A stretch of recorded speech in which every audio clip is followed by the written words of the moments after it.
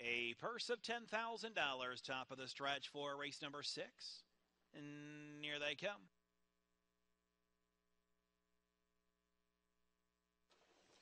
They're off and a pacing, trying for the lead. Robusto Blue Chip, also leaving Dura Boy. Feelin' Western is there along the inside as they circle the initial turn. Getting away fourth comes Social Theories. Fifth at the rail is TD's Legacy. Then it's Daenerys Dream, Express All That the trailer. Stall waits no more with Feelin' Western. He's now rolling up on the outside, so Feelin' Western is feeling the lead. And he uh, goes up to get the quarter in 27 and 3. In second, Dura Boy, Robusto Blue Chip is third. Social Theories pacing fourth. In fifth, TD's Legacy.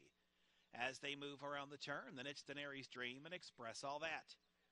They will straighten away and move down here to the half, being led by Feelin' Western. The 1 to 5 heavy favorite is the leader. In their second, Dura Boy. Robusto Blue Chip third. Social Theories pacing fourth. Over there to be next is a TD's Legacy. Then on the outside, Express All That, the trailer, Daenerys Dream. Halfway home in 57 and 4 in and around the turn. Feelin' Western the leader.